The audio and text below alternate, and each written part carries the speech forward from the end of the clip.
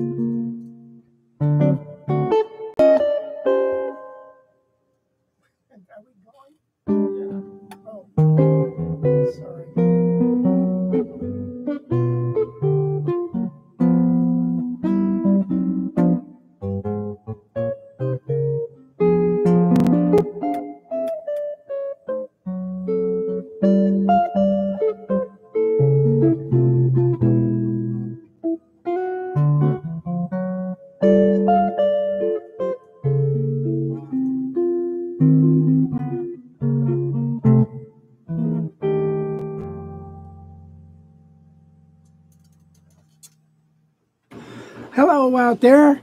Uh, gosh, I hope you guys are all doing well. you know, Wes just did a test and everything's working great. And then we went to do it, and then our streaming software said, "Oh, we're we've got some problems right now, and uh, it may work, and it may not." So now we're just going direct to YouTube, which I guess is working fine. So uh, maybe we should always be doing this one less thing to deal with.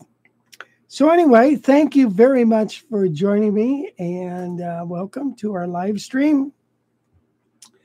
That was Up a Lazy River, and uh, I was trying.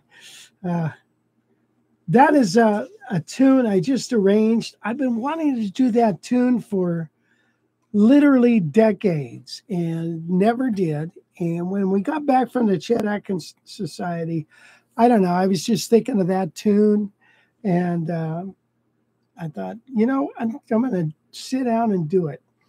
And the tune um, has got harmony in it that Ted Greene used to call riverboat harmony.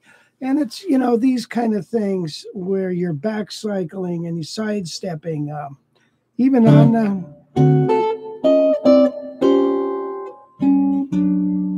those things.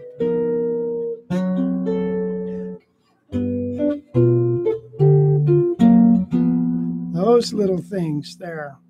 Um,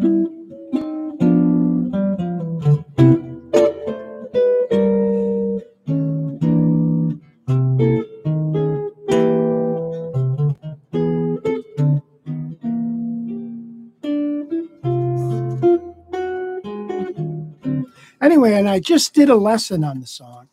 So um, give me about. Uh, a day here or the, the end of today, and we'll get it uploaded to the library. So if you're into it, uh, you can pick it up.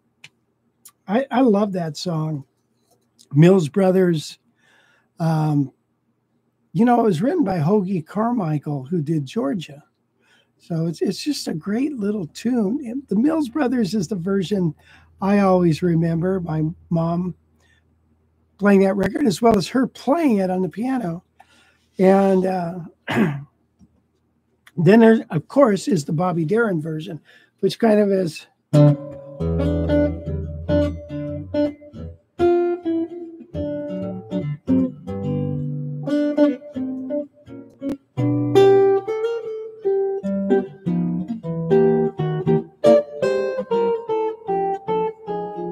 Just up more tempo.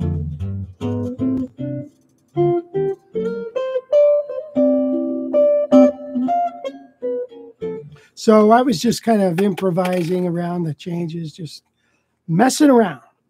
So, anyway, here's what we got in store today. We're going to talk about uh, the Chet Atkins uh, Society, uh, Chet Atkins Appreciation Society convention that Gail and I went to. And we just had a terrific blast there. And uh, I would encourage everybody to go to that. Matter of fact, go, go make your reservations right now because it's one of the most musical events you'll ever go to that uh, you can get one uh, real close up to some of these wonderful players. And you know who I met there that, that was very cool is a guy that I've just really loved his arrangements, and it's Guy Van Dusen. I have this book here called Stride Guitar, and it's got arrangements in there that are really tough. But I tell you about them, they're also really musical. And uh, so I got to meet him and talk with him for a little bit, as well as John Knowles. And John Knowles wonderful player. Um, uh, you know, the, all these guys were friends of Chet Atkins and the love there for Chet Atkins is just really, really appreciated. So uh, I got to uh, talk with him for a little bit, and I saw my old friend Doyle Dykes there.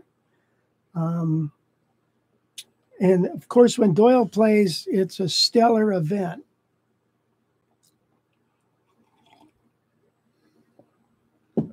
It's a stellar event when he plays, and uh, so that that was really cool there were some fantastic players there, not to mention Tommy Emmanuel.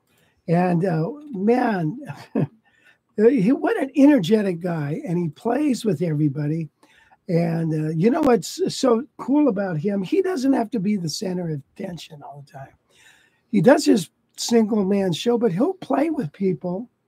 He'll, they'll, uh, you know, he'll invite people, and he will back them up and and just jam with them and just have fun. And uh, so he's not uh, above, he's not, doesn't have his head in the clouds at all. Wonderful, wonderful guy and uh, fantastic player. So, yeah. And then, of course, I got to meet, uh, you know, I've talked to him on the phone several times, Bruce Forman. And Bruce and I got to play together you know, it was funny. They they had us uh, Mark Pritchard, the organizer of it, and that, this was our their 37th event. 37 years they've been doing this, and uh, I got to meet him and and stuff, and we talked for oh, quite a while, and uh, he. Uh, there was uh, Tommy was playing, I think at four o'clock or three o'clock in the big stage, mm-hmm. and they have two stages a big stage and a little stage. And uh, nobody wanted to do the little stage because they didn't want to play opposite tommy. They don't want to miss him and stuff and all that. So uh, and uh, so anyway i did it. And then bruce forman came and joined me and we jammed and that was really fun. Also so yeah there we are just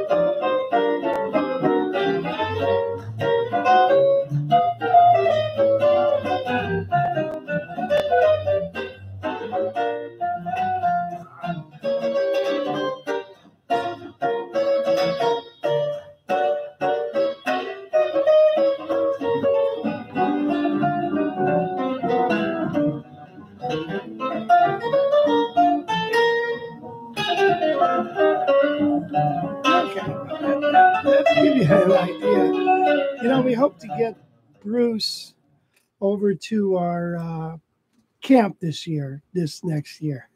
And uh, what a player, man. What a very musical cat and just really fun to play with. Funny guy, too. Um,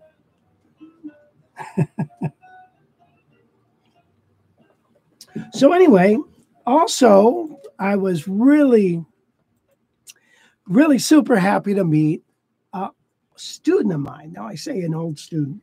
He's, uh, I, I've known him for about, uh, I've known of him, and you know, I've never met him in person until the uh, convention, but uh, I've seen him on YouTube. And, and when I first saw him, he was 11 years old. And uh, now he's 22 and there he is parker hastings and uh, he did a little seminar he's he's he's become a golden boy of the Chet Atkins society deal. Um, why don't you turn the volume up on that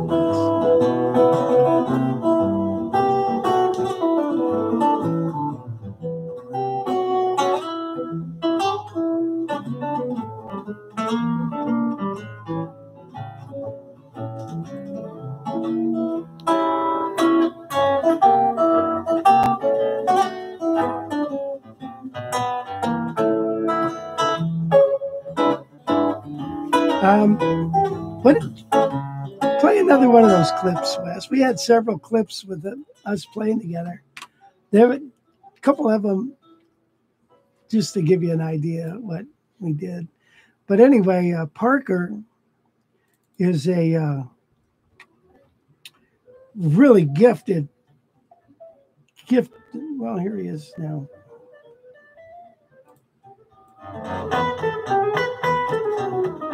This,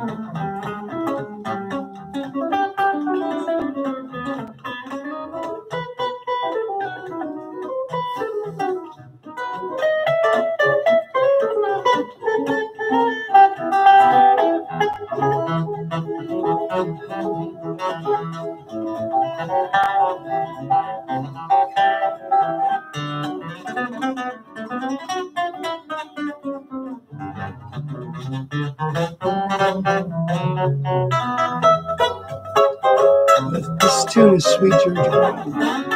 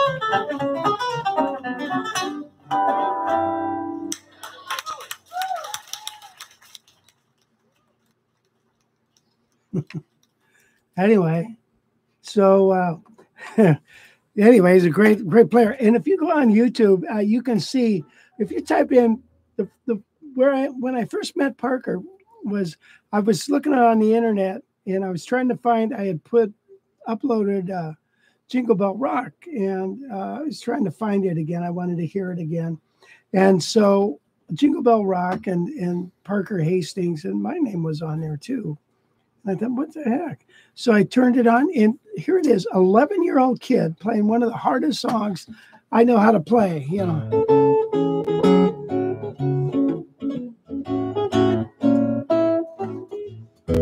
Yeah, however it goes. Anyway, it's got the walking bass line and everything. And this little boy is doing it. And I, I just, I, I was blown away. I said, Gail, come here, look at this. And uh, so, anyway, um, he said that um, uh, when, when we when we saw him, we got a hold of him and his parents and sent him some uh, gift certificate and stuff. But then he discovered Chet Atkins and, thumb picking and all that. So he went uh, went that direction. Although when he he went to the first Chet Atkins uh, convention, he was still you know 11 years old.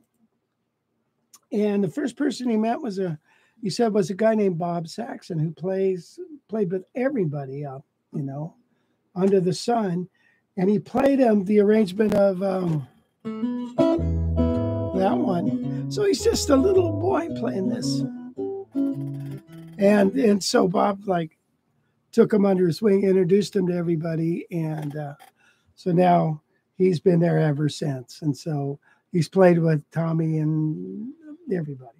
So he's got a brilliant career ahead of him. Uh, so anyway, that was fun. Also met up with my old friend Pat Flynn. Pat, Pat and I uh, go way back to high school. Pat played with the Newgrass Revival and became a, mu- a producer and a studio musician for like know, 25 years in Nashville. And so we always fun to catch up with him. So we had a wonderful time. We also saw some new new people. There's there's these new pickers out there, man. They call them instead of young guns, they call them young thumbs, and uh, they're just Chet Atkins and Jerry Reed on steroids. Holy crap! I saw this uh, picture on on Facebook here. oh yeah, she was there. That's her harp guitar, Muriel Anderson that's a harp up there. Yeah, what it is is uh, it's you know it, you don't fret it, but each one of those strings are tuned to whatever key you're playing in. You know, so then you you come back and you whip out. You see all that there's strings above the sixth string, which are bass strings, and the ones below, which are treble strings. So it's oh, wow. pretty crazy, huh? A lot of strings you spend most of your time tuning that and then the other part playing out of tune. So, man, it's I've got a lot of strings. Good grief. Ah, String City. But anyway, she was there and what a wonderful, wonderful player. Um, so really, yeah, there's Tommy and and Parker. That's oh, you got more pictures, Wes, you can show us. Mm. Uh I don't know who who oh, many of these guys there's, are. But... There's Tommy. That was John Knowles back there a little bit. Um, and this, uh, I forget who these guys were. Yeah, these are all just kind of pictures from there from Facebook. Some guy on Facebook. Yeah. Okay. Well, you got Tommy and Parker as bookends there, and I forget the one guy, the the two guys in the middle. I, I'm sorry. Wonderful players. Yeah. Uh, this is a. Yeah, I don't know. Okay. But uh, anyway, I would really encourage you to make your reservation and check it out because you will hear some of the best guitar playing you will ever hear in your life. So uh, it's inspiring, or you know, it's uh, expiring. You know, going to go home, burn your guitar, but uh, it's it's really really a good a good a good event so anyway, did I plug that enough? Oh, the Nashville Hot Club, they played there. Uh, I forget Pat Bergen uh, Ferguson or uh, was the guitar player. Wonderful band, the French Family. Uh, they were fantastic. The uh, him uh, it was a father and his wife and his son, and uh, I I think it's this the and then a bass player. Oh no, and then a drummer, and and my gosh, they did all these double leads. Oh, sounded so sweet. So anyway, that that is a super cool event. Anything else you want to add about that, Wes? Uh, no, I was not a part of that. I did not go. Next year. Yeah. no, no additions for me. Okay. Um, Other than wrap it up and let's move on. Okay, it's wrapped up, moved on. So did Wrap. you? oh, is that what that means? I, I, didn't. I thought you were signaling to steal. Oh, that's wrap. Okay. Here's a 1969 uh, Gibson L4. I heard one of these. A guy was playing it in Disneyland, of all places, right? At the uh, uh, New Orleans Center, you know, square. And uh, I thought, man, that thing sounds really, really good. And so I found one of these. When I got it, it's just very interesting. The pickup had gas, the pickguard had gassed off, but the and the pick guard pickup was all green. And by the way, it was a gold pick guard, a pickup, gold pickup, but it had silver uh, or chrome hardware. So the tuners are all original uh, and they're very stiff. I oiled them and tried to get them to loosen up a little bit.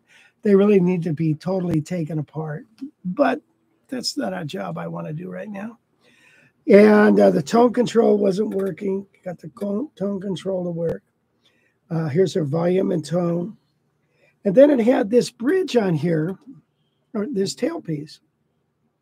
That's like brand spanking new. And I thought, God, it, it sticks out. You know, it's like, have you ever seen a new bumper on like a 54 Chevy that's beat, you know, that just isn't restored, but the bumper is brand new? It just doesn't look right. So I did my best at trying to distress this a little bit. And I thought I did pretty good.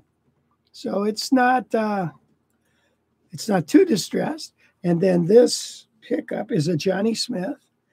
And um, you know, this I don't think was added on at the factory. I don't think the factory would do it like this.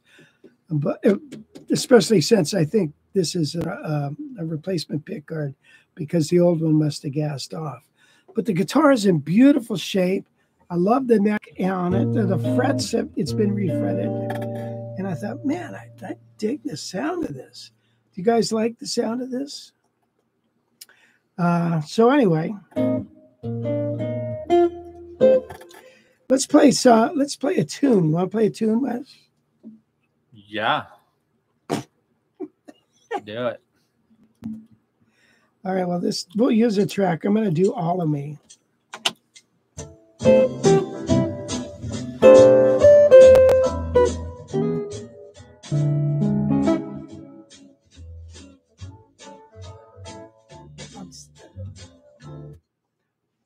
Let me do this again.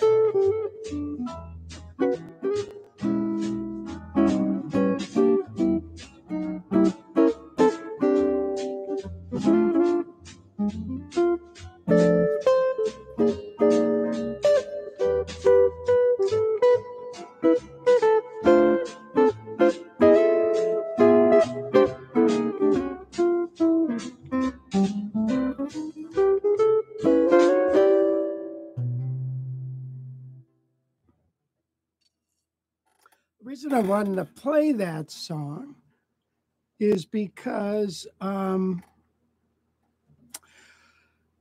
be, uh, the reason is because we're, I'm going to show you some licks out of that tune. That's why. You know, that's a nice little tune. Probably everybody's got to know it.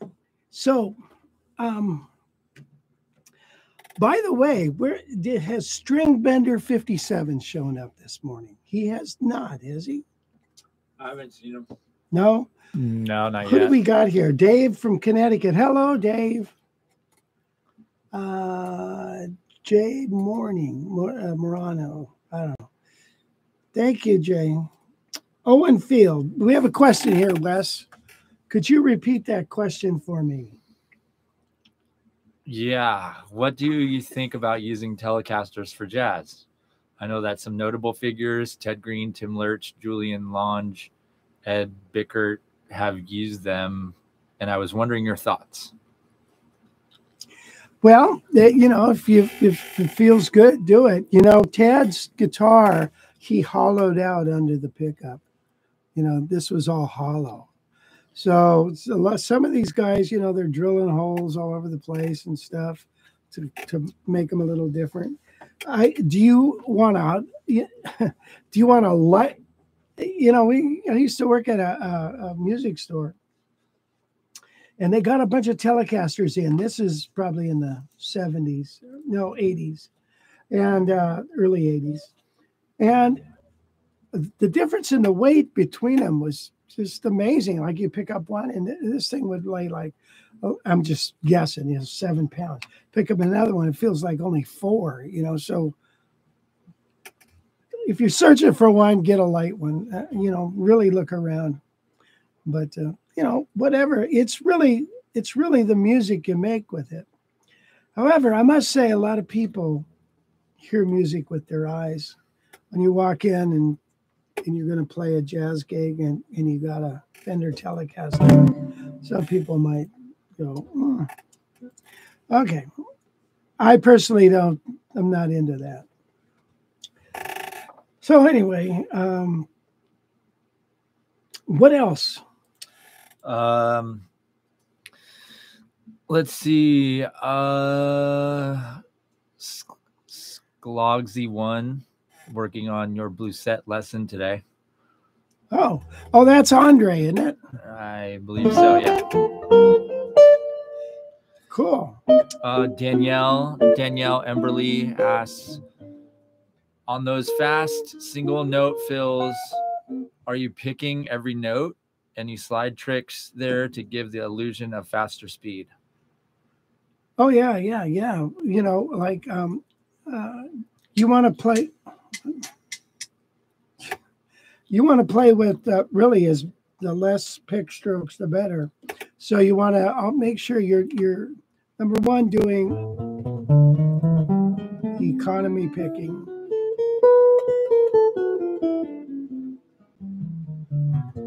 So each uh, on ascending passage is on three notes on a string. You're always approaching it with a downstroke. And you're already on the string, so you just push through. The obverse is that is pull up, start with an upstroke.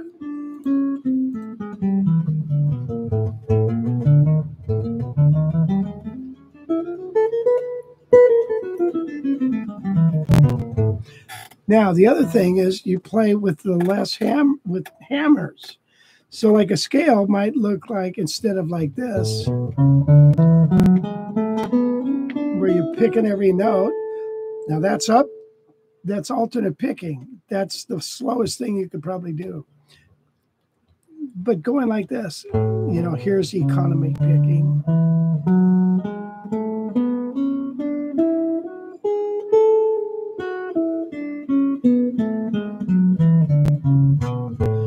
And then there is what I call slurred picking, where each string just gets one pluck.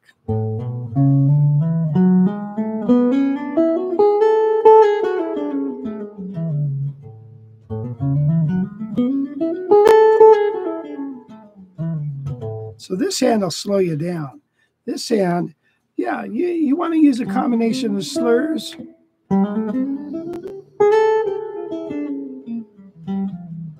I don't know what, what I did. Let's see.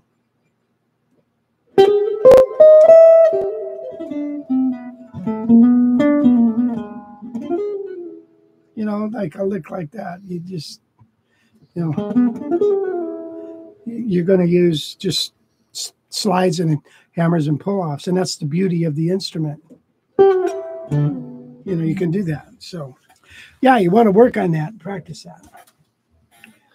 Is that Robin Riggs? Uh, yeah, Mark Larkins. Uh, greetings, Rich from East Tennessee. Would oh. love to hear you play just a bit of all the things you are. Oh, just a bit. With the group, I mean, with the track. I don't know, Mark. Do you want uh, ask him? You want the track or finger style? Let us know in the comment section and we'll get right on that. we aim to please, you know. Robin says, Did his telly sound better that way? I'm thinking of doing that. Well, yeah. Um, I think it did. I mean, I, I didn't hear it before, but that's what he did, you know. So, by the way, you know who owns that telly? Keith Richards. Are you talking about this? Uh, yep. That Telecaster? Well, is that the one? That looks a little different to me.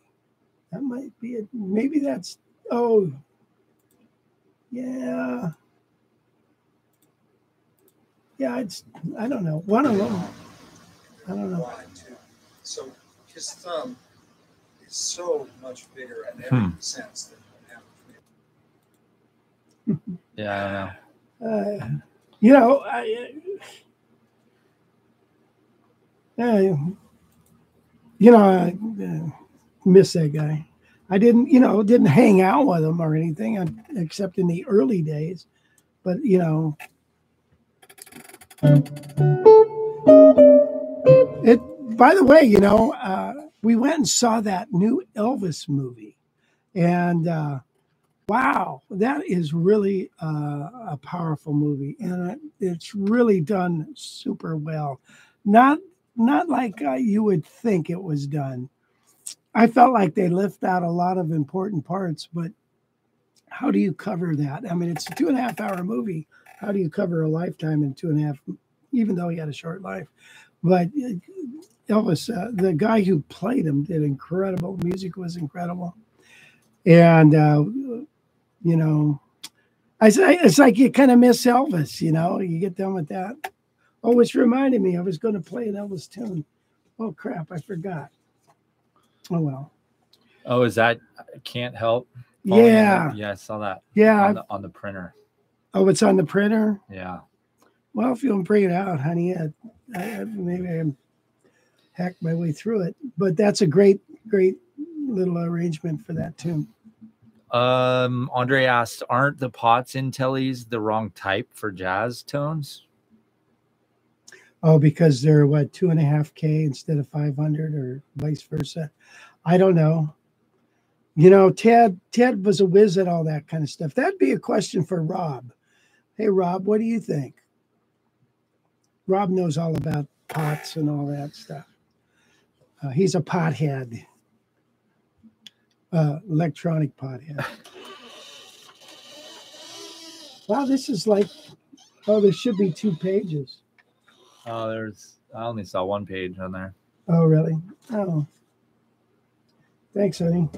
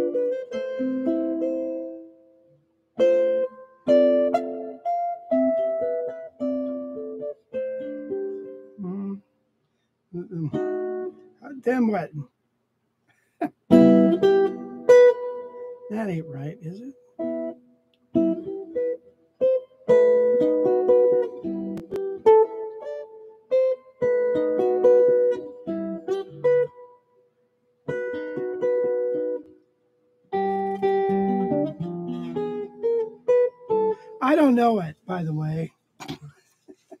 we need the second page. Ah, Yeah, I think you need to reprint it because there's only one one page on the printer that I saw. oh, okay. All right, we'll do that next week. You know, you can always, when you script this week, we can always fix it next week. So, um, Uh, there's some more questions here. Uh, Rich, do you see any value to memorizing specific rhythmic phrases to be used to strengthen your improvising? I learned a few rhythms years ago that were based on big band lines. oh, absolutely. Yeah, rhythm is the most important element of music. So, you want to learn as much rhythm things as you can. If you just play all straight eighth notes for things, you know, like comping on all of me or something, it's a drag. So, um, you know, uh,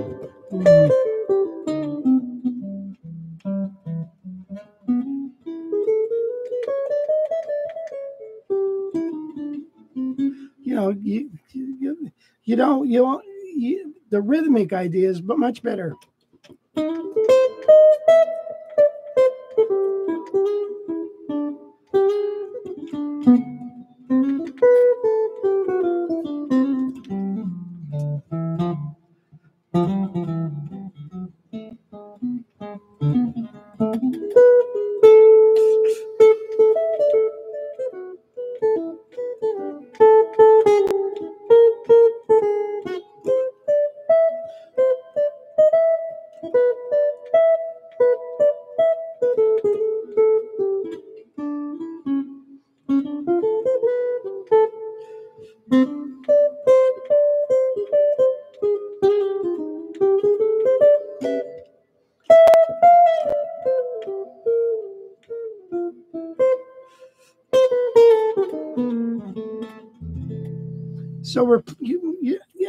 Play more rhythmic. It's it's easier. It's more fun.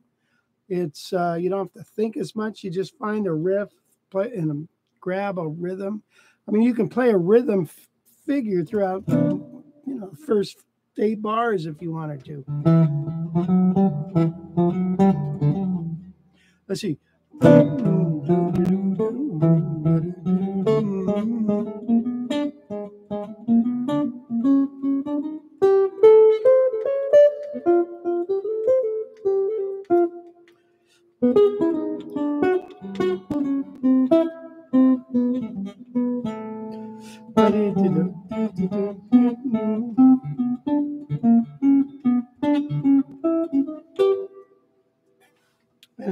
Get the notes to work. Uh, thank you, Tom, for that question. Andrew Janison asked, uh, best arch top for around 3K. Yeah, Guild. well, guilds are wonderful. Uh, you got to check this out. Thanks for asking. Let me show you a couple of guitars that I just got. Here is a Eastman. Uh, you can't beat. I know they're built in China. Some people don't like that, but you know, but China people, you know, these are just people. They're not the communist government. They're just people um, that work and the government, whatever they do, they, you know, they're evil. The people that trying to raise their kids and a family, they're just people. But anyway, this village builds guitars, right? And Eastman is they build orchestra uh, orchestral instruments. And this is a I'm really pleased with this guitar. This is a Eastman 805 um, solid spruce top, 16 inch body depth, solid maple sides and back. This one has had the inlays added, and it's just a beautiful axe. Now it's one and three quarter nut width. So if you got fat hands, you know it's a good one. Uh, and it's 24 and excuse me, 25 inch scale length. So Gibson scale, like the guitar I was just playing, is 24 and three quarter inch scale length, and Fenders are 25 and three and a half. So that's in between. Hopefully, it'll fit everybody's thing. It's got a volume control here. Did you turn this on? Yeah. There it is. And a tone control here. So uh, this is an 805, and I think it's in pretty darn good shape. Um, it's beautiful.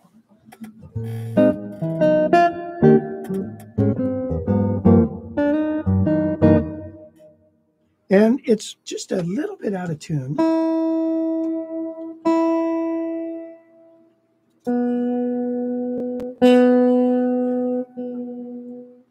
It's got a, a it's got a low nut on the B string. Somebody cut the B string too low. So I got to fix that. Um,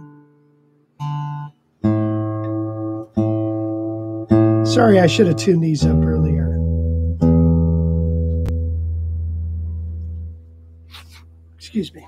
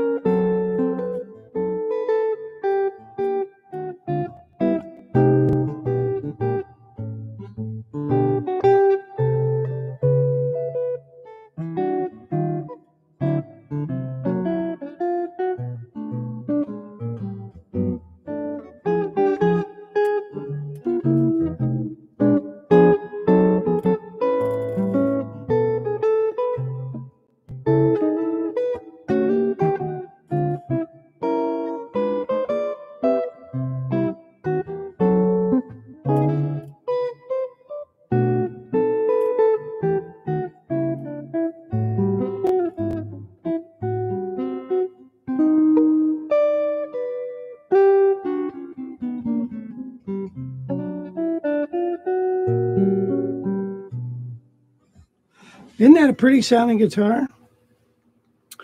Very hollow. Here's what it sounds like acoustically.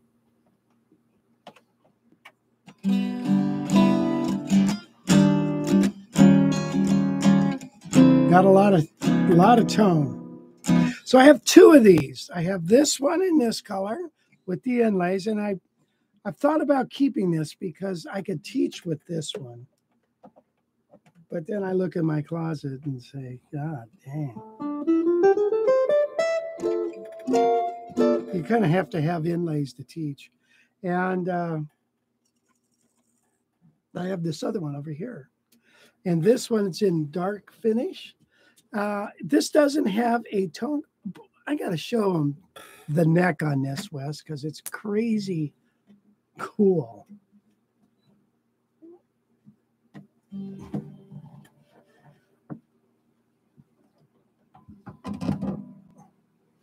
The guitars, this is like the classic finish that Eastman builds.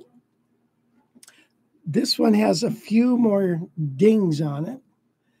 But look at this neck. Isn't that beautiful? I mean, that, I I've never seen an Eastman with that that neck. It's just gorgeous. And uh, this is an 805 as well. Got a little, you know, different years, different tail pieces. And like I said, or did I say this? Uh, this one doesn't have a tone control.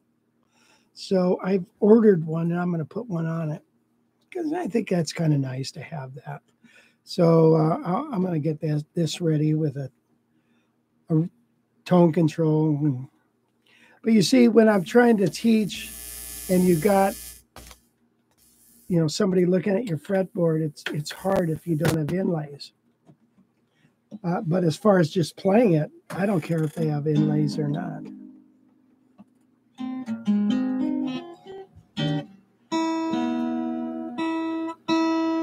Uh, is this on? I haven't done anything. You got to plug it in. Sorry, while I get dressed here. I...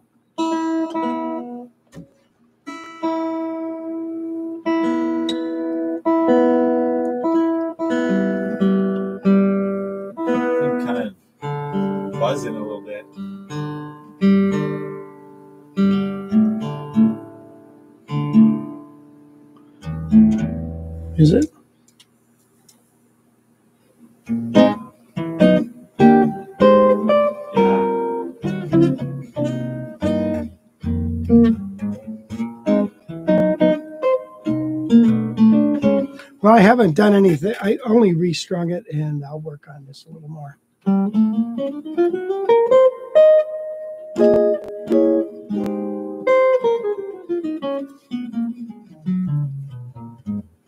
Anyway, so these guitars are around the two thousand dollar mark. So, 2000? mhm. Yeah, that thing's noisy. it is. Can't you hear that? No, You can't hear that? Wow. Yeah. Scary that you can't hear that.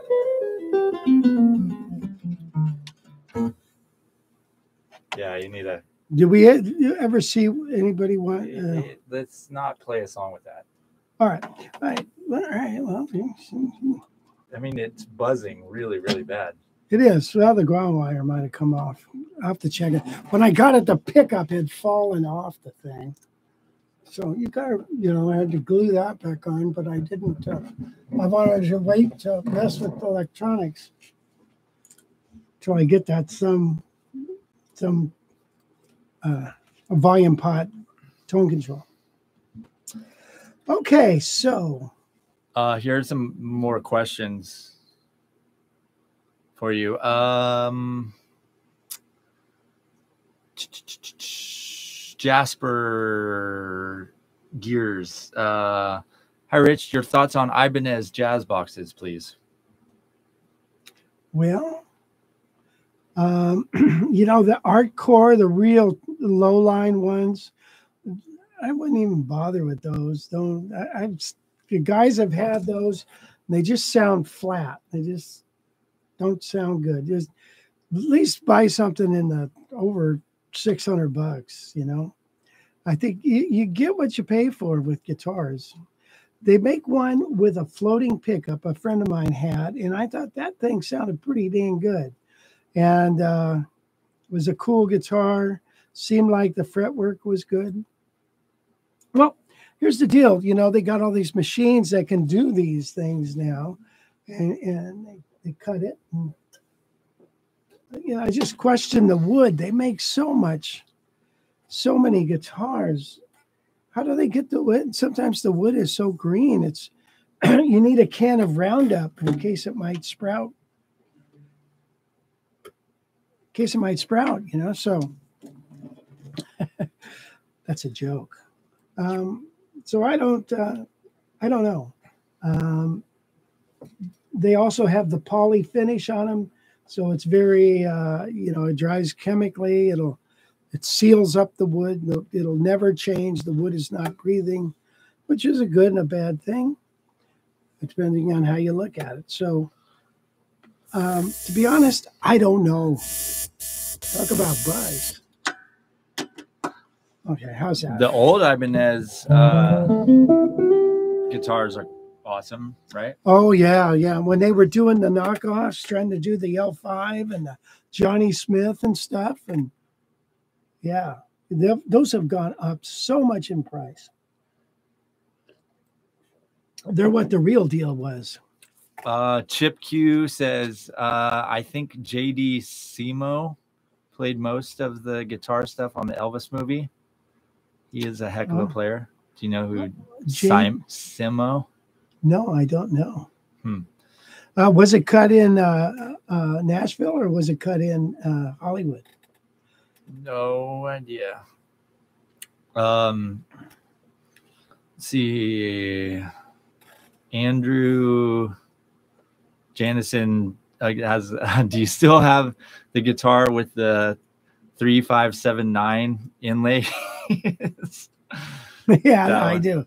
That's my uh, John Pisano. I'll probably never get rid of it. I had John sign it, and uh, when I put those on there, you know, I thought, and you know, it's funny. I that video where I did a lesson with those on there, it got like tons and tons of hits, and everybody's making fun of those numbers.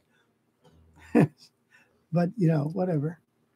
Now, uh, Wes, uh, your mom said she didn't hear any buzz yeah, either. Most people said they didn't hear the buzzing, but it was loud in here. Huh. Well, yeah, I don't know. We'll have to check it out. I'm going to get new things for it. Yeah, it was uh it was loud enough to where I needed you to put it away. Okay, okay. For, for sure. That. Thanks for the endorsement. We're trying to, you know, move that guitar, but I mean, if I knew that they did, no one else is hearing it, I uh, wouldn't have said it. Uh, Andrew in Wonderland, Bob Weir played a guitar that looks just like that. Uh, I'm guessing it's was that That's, second Eastman. Oh, really? Oh, cool. Uh, Andrew in Wonderland, that would give you a very Django kind of sound uh, Andrew Janison, also, do you use acrylic nails on your right hand? So uh, when I uh, was, you know, doing fingerstyle stuff and a nylon string, and you know, I always had my regular nails, and I tried to keep real good care of them. But I'm was I'm I'm kind of a do-it-yourself guy, and so when you do work around the house and uh, you break a nail. And so you got a gig coming up, and it's like, mm-hmm. oh no, man, I just broke my nail working on, you know, something in the garage or something. So then, um, you know, Dale, or not Dale, uh, Doyle Dykes, I was at a thing with Doyle, and Doyle had his acrylics, and he said, Rich, why don't you just get acrylic nails? And so I did, and I had them for many, for a long time and it was a running joke, you know, for Father's Day. Uh, Dad's going to go down and get his nails done. You know, so my the family had a real good time with that. but what happens is it destroys your nails underneath. So you, you got to keep going back and do the filling and all that. But and it destroys your nails. You end up getting a fungus and all that stuff. So uh, I just forgot didn't do that and and just went to doing a uh, as as my nails you know got rid of those the nails got stronger but still if i break one then i i just use a plastic one and put it on there so this well it does sound different doesn't it? wow hear, hear how mellower that one is I don't use my little finger. Ted used to use his little finger. But um, so I, I just put it on as needed. But I didn't even notice how mellower that one was. And I used to have one on my thumb.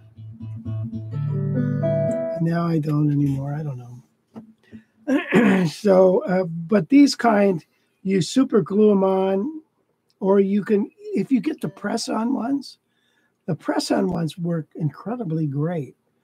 The Lee press on nails. I don't know why somebody doesn't in- invent a guitar player fingernail that's easy to deal with. Well, maybe you should talk to Lee Press on. Maybe. Revlon. Yeah, Yeah, Revlon. yeah. exactly. Okay. Um, Chip Q didn't hear the buzzing. Jeff Paget didn't hear the bu- buzzing. TJ says, "Oh, hey, Rich, good to catch you live." I don't Oh, know who T- TJ. Thanks for TJ like that. is. Uh, Gail didn't hear the buzzies either. Rags Dirt says, "I totally love the Guild X700 that I got from you, Rich." Oh. Yeah, who who is that? Rags Dirt. Rags Dirt. Oh.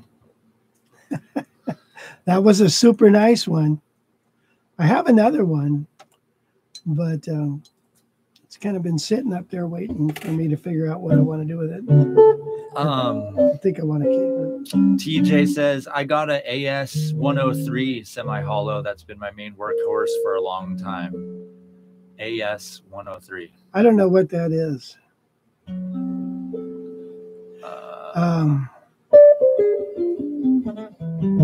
but anyway, that's good. Thank you for letting us know. uh, Jeff says those Eastman arch top guitars that I've played are exceptional instruments. True. Uh, Timothy Newfield. oh, hi, Tim. Uh, I'm getting older, turning 60 soon. Any tips for keeping hands, shoulders, etc. in shape? Well, take your vitamins. Yeah, take your vitamins, the uh, hair, you know, calcium, the hair, skin, and nails stuff, collagen, all that good stuff. And then uh, try to put your hands when they hurt, put them in ice water and then in hot water. Don't let that inflammation stay in your hands overnight and stuff. I mean, I, I don't do I don't do it at night, but sometimes I'll put on uh, Tiger Balm and DMSO. You got to make sure your hands are super, super clean when you do that.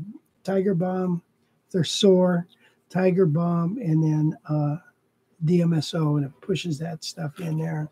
Really gets it. You'll have to bring out your DMSO sometime because that's it's hard to find that stuff. It's not It it's it not is. everywhere, But- and people have no idea what it is, and it's like people. It's like a cleaning agent that they. They use it. Uh, it's it's uh, they used it on horses, horse leg. leg uh, they use it on all kinds of stuff. It's dangerous. it is dangerous. Yes.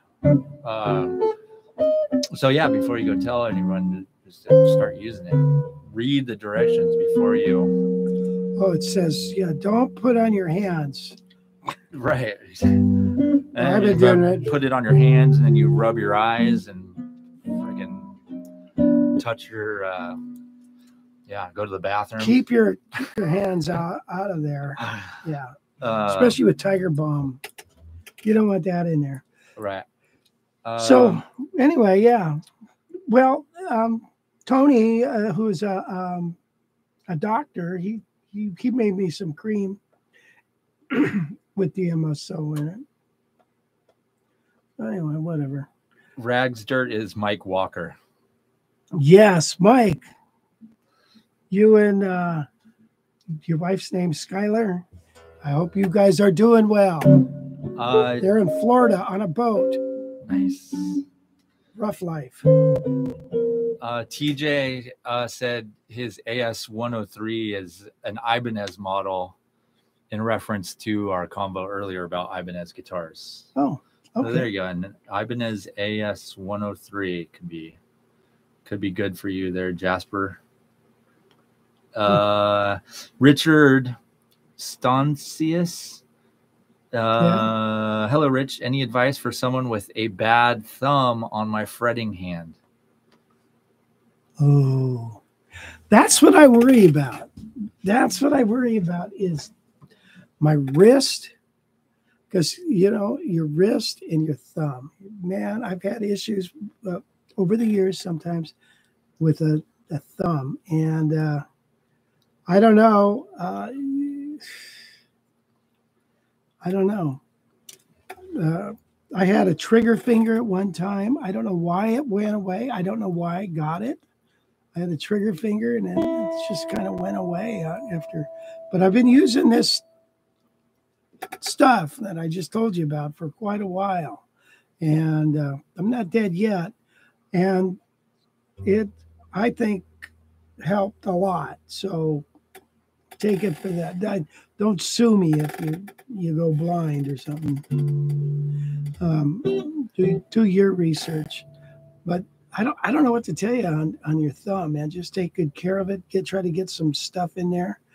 You know, another thing I used to do is just olive oil. I used to do just olive oil on your hands and just rub them like crazy.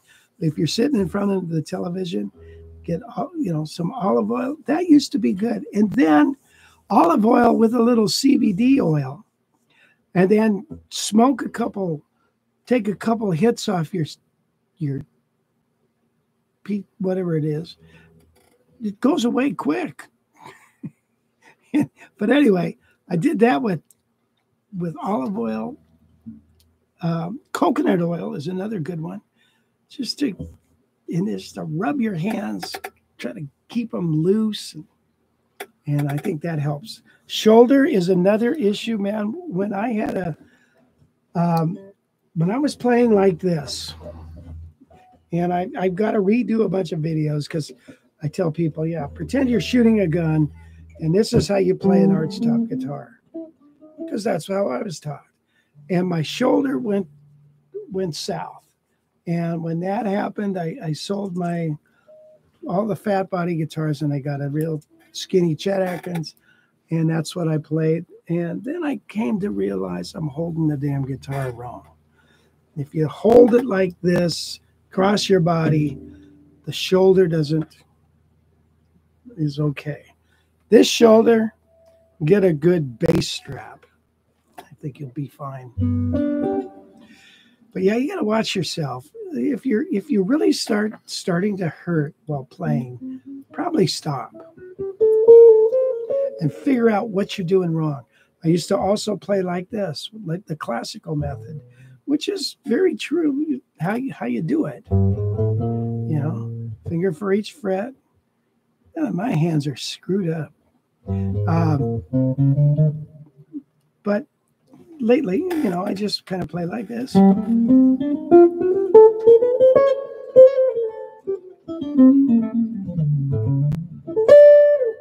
I don't know.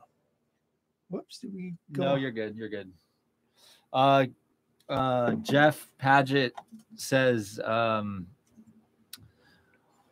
strings by or yes, strings by mail sells special guitar related nails, different materials, etc. Oh, Strings by mail, I'll have to check them out.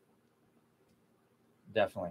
Uh, no, I'm trying to see if I can get this audio bar up here. I'm just messing around with this real quick. Hold on. Yeah, I'm pushing buttons. Hey, Wes, you got any news? You want to do some news? Uh, yeah. In one second here. So I went to Carter's Vintage Guitars in Nashville. Now that was kind of fun, and uh, I got to see a bunch of guitars. And one of them, you know, I saw some Johnny Smiths. There was a Wes Montgomery L5. Uh, there was a real nice guitar, and I thought, how did I get this? Uh, and it was what a Vega, a Vega. Remember those? And uh, wow, that's kind of neat. But I didn't. Uh, didn't. I tried to show some restraint. And uh, but I did also see one of the chroma, one of the uh, solid formed Gibsons. You know those guitars? They're where they press a solid piece of wood and it's their own thing, so they don't have to carve it. And uh, so I got to see that guitar, and you know, it, it, it's I'm sure great. I didn't, you know, I just strummed it and it sounded nice. I didn't just on the shelf. It, it you know, it's pretty loud. You know what kind of bugged me about it is like, you know, these guitars that are, you know, they want, I think they wanted like seven thousand dollars, five thousand dollars for this thing, and come on, do you really single ply binding all around uh, on a guitar of that in that price range? I, I think it's it's it's like I know single ply binding will, it will last longer, but you know what? It doesn't look as good. And when you are trying to sell a guitar for five grand and then you put crappy bind, you know, just run of the mill binding. Look at the binding on this. Know, West, go go close to this on the binding on this guitar. I mean, look at that. Well, you you know, that's like seven ply binding there. And, and you know, it's prettier, you know, and everything's bound. The, the F holes are bound and all that stuff, even cheap guitars. But Gibson, for some reason, decided on this chroma burst guitar, you know, let's just use single ply binding. And it's like, really? Yeah. I, I guess they do that so that makes the L, L5, you know, more valuable or something. I, I know. Who knows? Who knows what they think? Um, Daniel, Danielle, sorry, Emberly, uh, regarding inflammation, avoid sugar. That's a good one for sure. Eat a lot of vegetables and fruit, natural food. That would help inflammation for sure. Inflammation. Soda. Soda is probably your worst enemy. Yeah, yeah. Don't eat. Yeah, I, I, we don't drink. Well, we we drink. uh, You know, some diet coke every once in a while. We go out, but that's about it. Uh, Chip Q. Any plans to cover the tune Cherokee on the library? Um.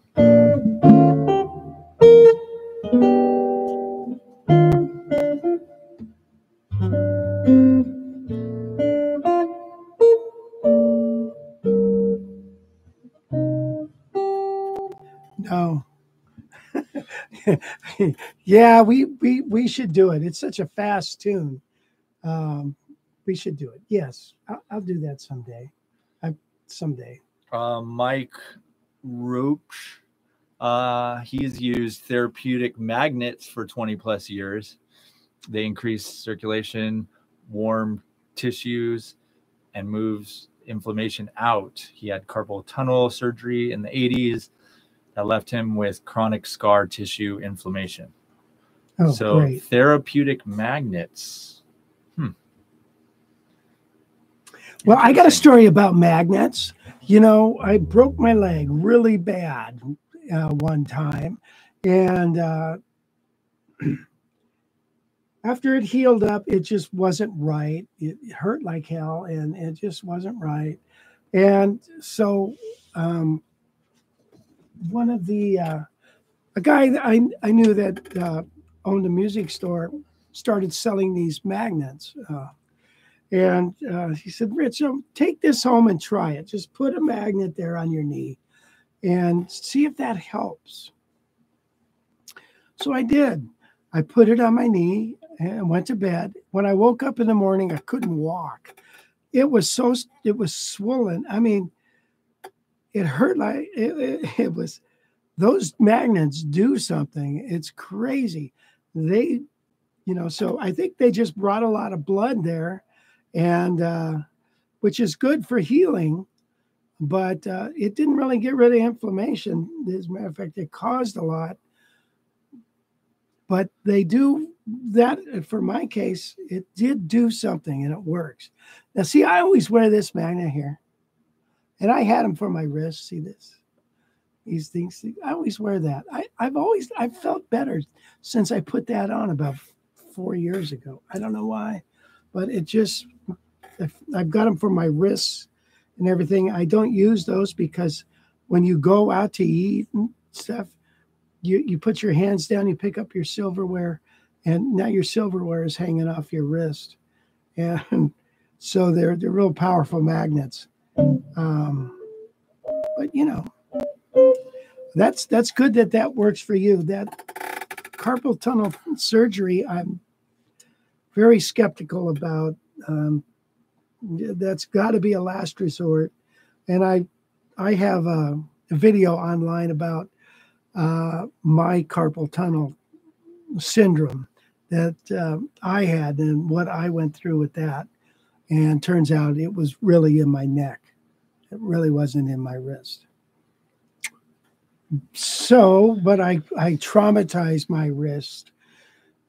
Long story short, when your hand goes to sleep or you want circulations, don't go like this with your hands. Don't traumatize your hands any more than they have to be.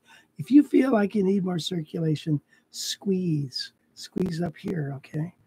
Uh, you know, don't start. I remember seeing Lincoln Blue- Brewster backstage, and he was waiting to go on, and uh, he came out just violently shaking his wrist. I said, Lincoln, don't do that. My God, you're going to really, you're going to hurt yourself. I know, but I got to get circulation. But don't do that some other way. So I traumatized my wrists, and which kind of didn't help either. So it's a long story. We we don't have time for all that. Uh, Lincoln Brewster, by the way, is a really good worship guitar player. For people that don't know, not a lot of people know who that guy is. Okay. Uh, anyway, Mark is back and says, uh, "Please play all the things you are with track or solo, either way. Oh, Dealer's choice." uh,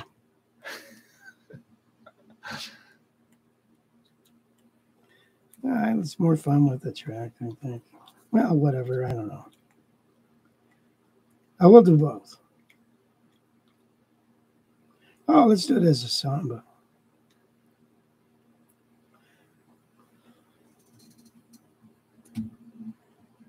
Hello?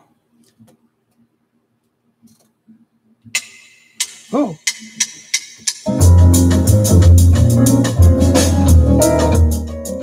Yikes! You got a good balance? Yeah. Well, let's do it.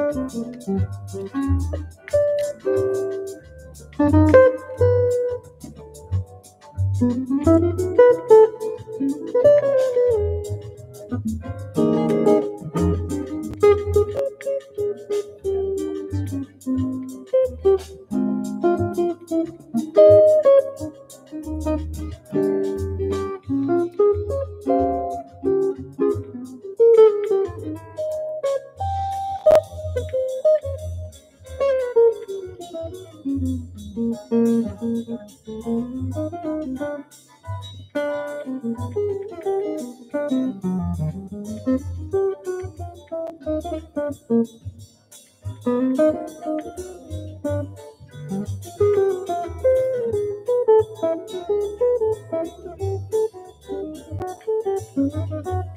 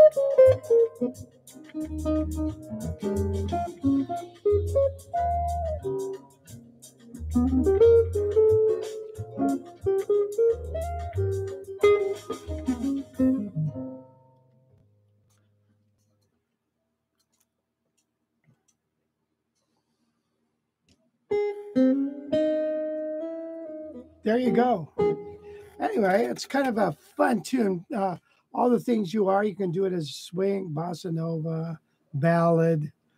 It's a long song as a ballad. Uh, it's a great little tune to do any way you want. Okay, Wes, you got any news? Sure. Let's listen to Wes's news. Uh, yeah. Then we'll do a lesson. So, uh, yeah, lesson, sweet. Um, sorry. Uh, let's see. We've all you, we've all heard harmonics, right? You know, yes. How about bubble harmonics? You, harmonics, are you trying to this?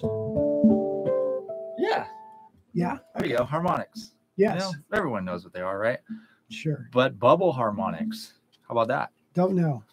Uh, well, this guitar player Don Aaron out of Atlanta, uh, self-proclaimed inventor of bubble harmonics. Oh, I like that. Uh, sound is pretty hard to describe, so uh, here you go. We'll let you uh, hear it for yourself. This is Don Aaron out of Atlanta with bubble harmonics. Okay.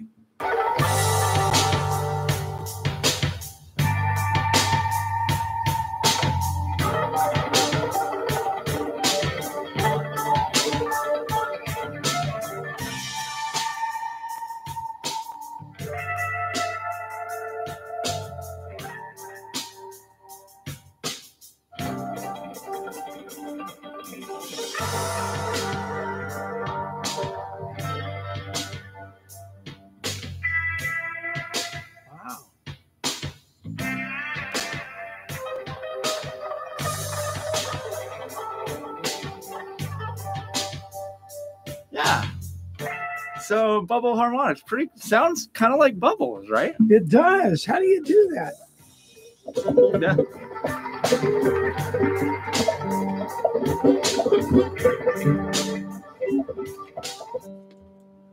Do it.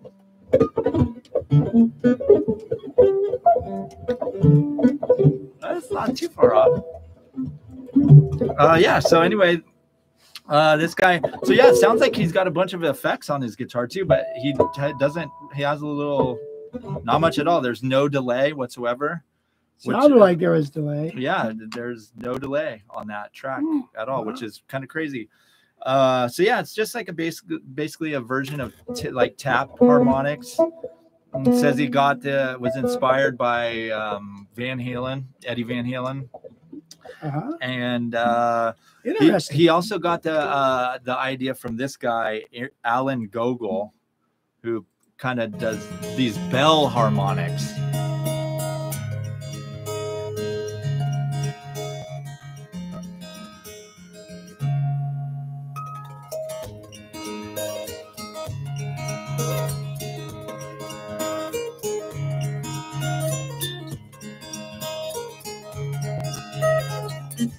Yeah, that's pretty cool too, right?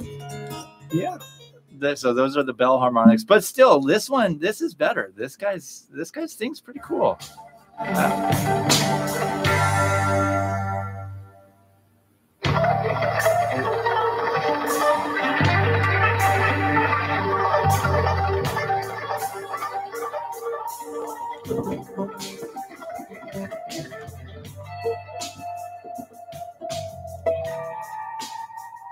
yeah. Anyway, thought that was pretty cool. So yeah, um, says he's been working on this uh, this technique since the early '80s, and it Hmm. looks like he finally uh, has it down. So good job, Don Aaron. Way to go.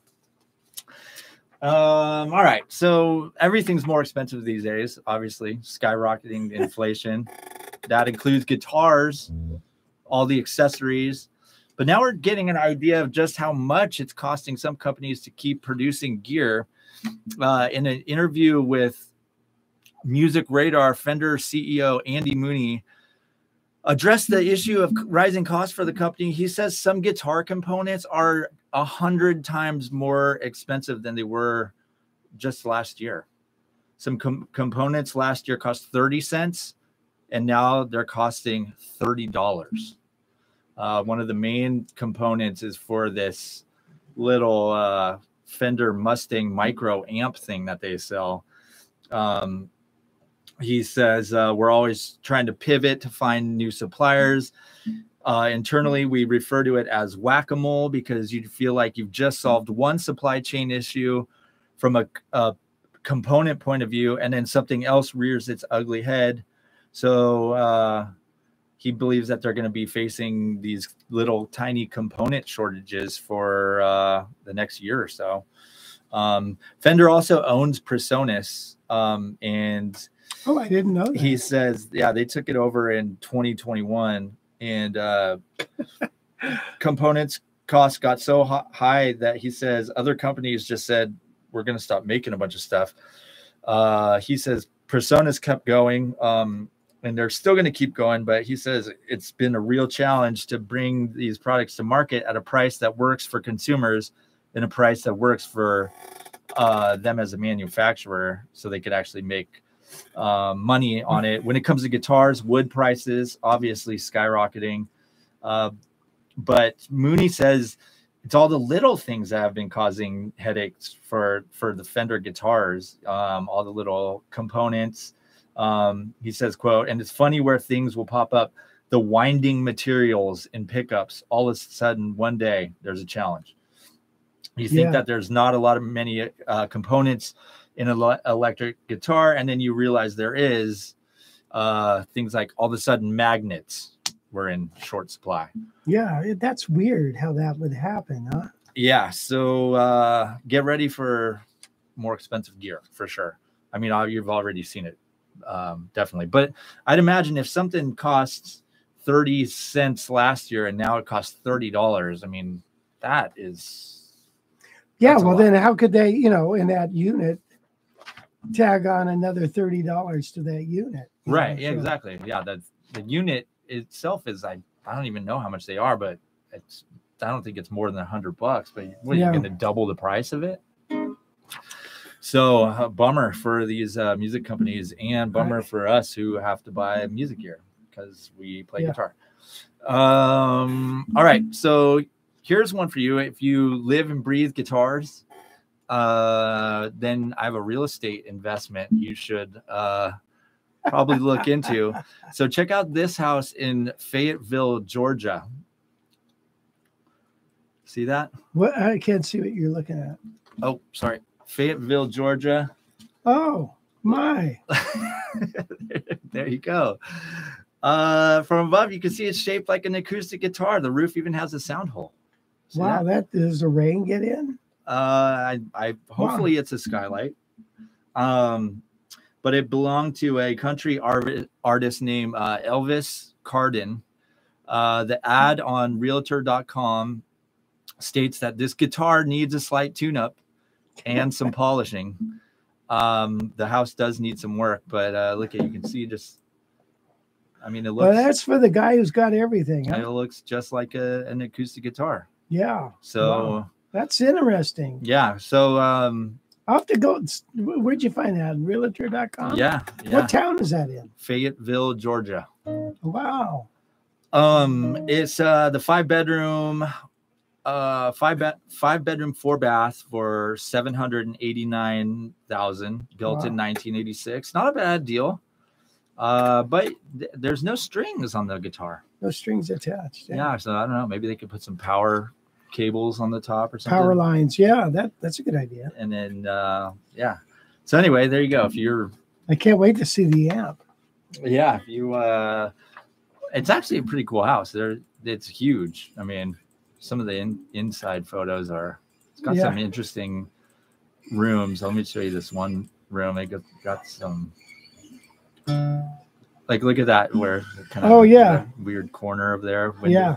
anyway yeah it's good definitely a different house long um big Hmm. but uh yeah pretty cool um let's see what else we got here um oh yeah we've talked about metallica on the show before Yep. you know one of your Sure. favorite bands Yep. For- Yep. you yep. love them. I've got every one of their. you love the singer Cassettes. james hetfield especially I, I remember he came out with the the new strings Oh yeah. Yeah. he was the ernie ball string uh, Mhm. uh, anyway, well, a jazz guitarist and bassist uh, have created a, a jazz cover of one of uh, an old Metallica songs, and I must say it sounds pretty dang cool. Uh, I'll play the original version of the Metallica song first, so you can get an idea of what it sounds like, and then uh, I'll play the jazz version second. So this is uh, "Seek and Destroy" from back in 1983.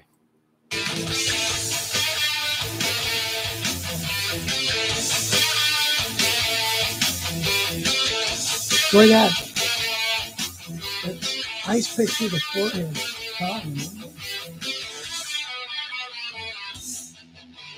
Okay, that's beautiful. I like the video. Yeah. Anyway, so yeah, you hear it. Got it. All right. Yeah, great tune, nice family friendly tune there.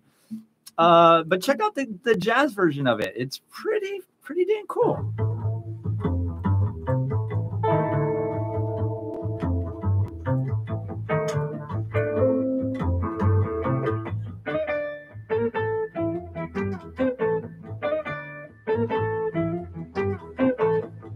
Yeah, that is very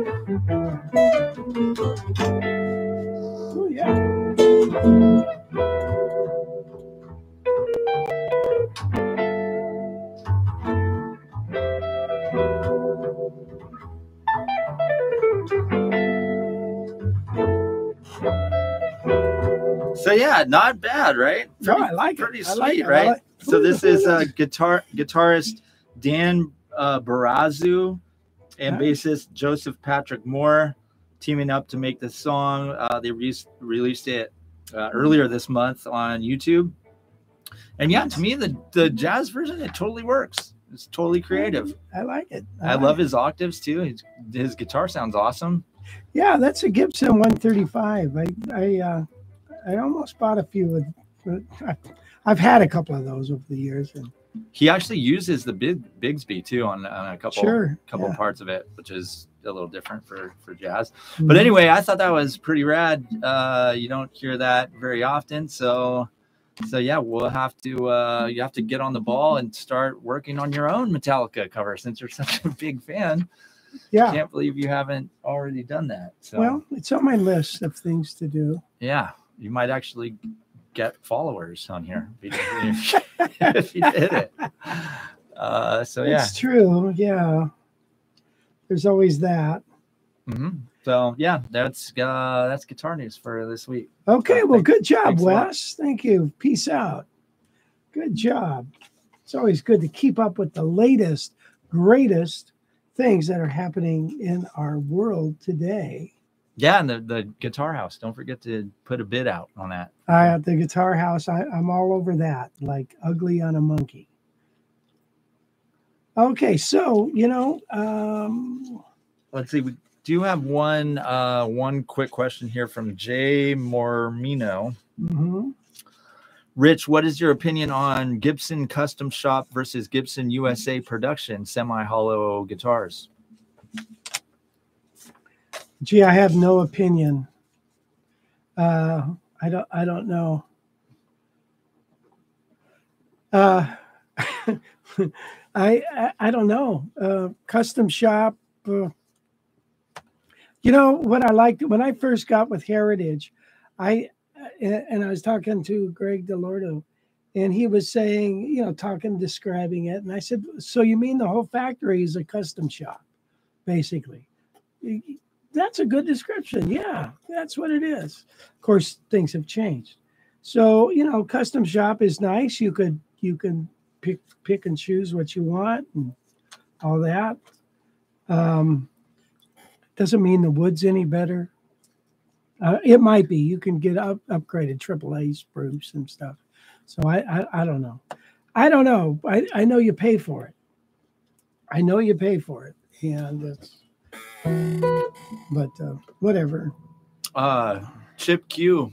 The guy said he says on the, the clip that uh there's no delay on that bubble harmonics thing. So maybe Oh. he's lying. I thought I I, I thought I I thought, I mean, there, I was like, there's no way you could do that without it, but he says so. I don't know. We'll have to take uh, his word for him. Look him up on YouTube, Don.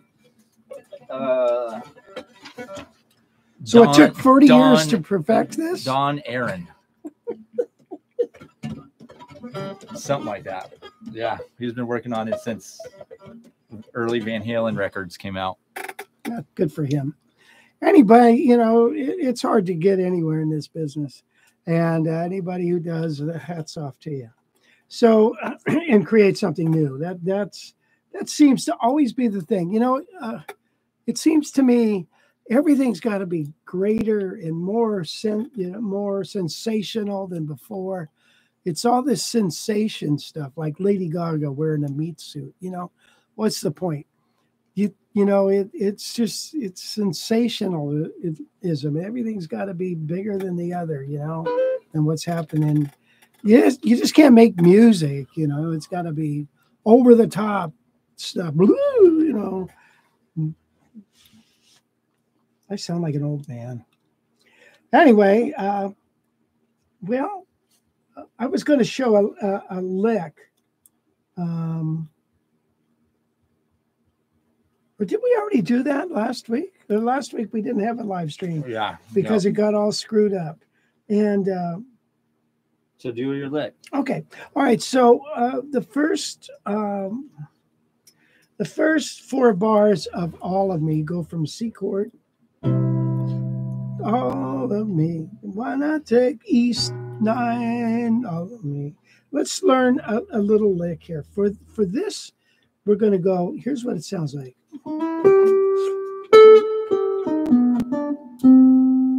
That's our first lick over the C chord. Now, when you think about this lick, what are we doing? Here's part of a C. Here's uh, the sixth of the C, but then we're playing these two notes. That's an uh, here, right here is a, a B augmented or G augmented, and then so.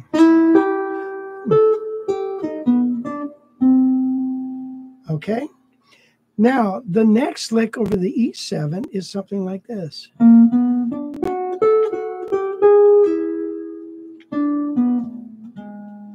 So we're going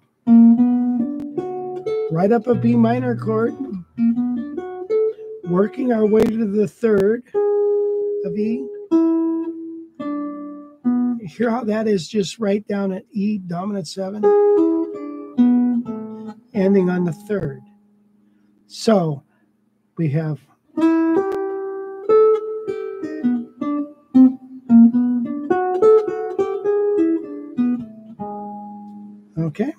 So if you get an idea, uh, the first idea here is we're playing this C chord, but then we're going to this, back to G, and then to this. For the E7, we're actually playing this to this.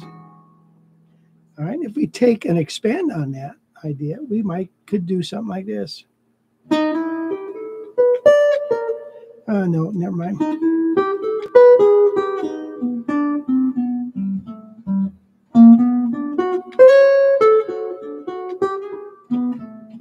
So just expanding on, on those ideas.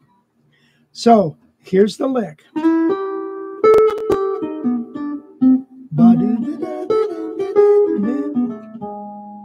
Okay, nice little lick. And I've got a complete solo here, all written out for you. And if you learn it, you're going to pick up a bunch of licks on there that you can use in other tunes. So. By the way, has any nobody's commented on the sound of this guitar? I'd like to hear your thoughts on this guitar because it's kind of kind of uh, it's different than I'm used to playing, and I just wanted to hear your thoughts on it. Well, what do you think, Wes? You think shall we call it a day? Uh, yeah, it's been an hour and forty minutes, and we haven't gotten kicked off yet. Yeah, no, this bypassing the uh, Streamlabs software might be the way to go. Yes.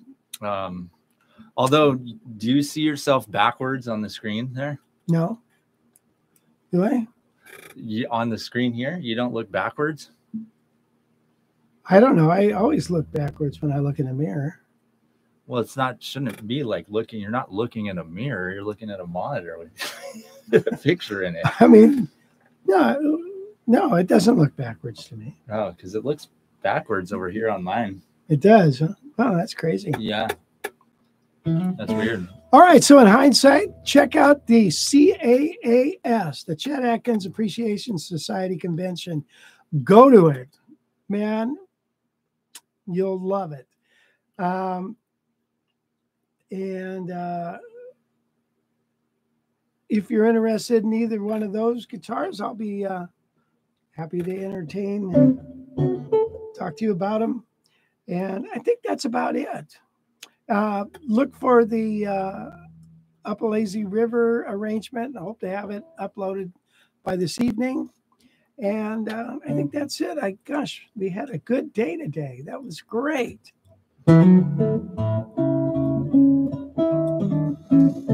Thank you for joining us. I really appreciate it you know what? I liked Robin Riggs' comment here. Up here when when he said the guy uh, Tim's turning 60, Rob says, 60, what's the point of getting up? oh, to be 60 again, right, Rob? And uh there was another something funny on that. Uh I don't know. Anyway, thank you for uh, your comments and questions and I'll talk to you later.